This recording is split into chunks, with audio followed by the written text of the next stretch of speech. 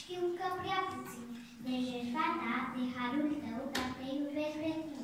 Iisuse, glasul tău cel bun și fața ta senină îmi face inimioara mea de bucurie pline. De aceea te iubesc cu dor și asta mereu cu tine, căci când aud cuvântul tău, mă simt așa de bine.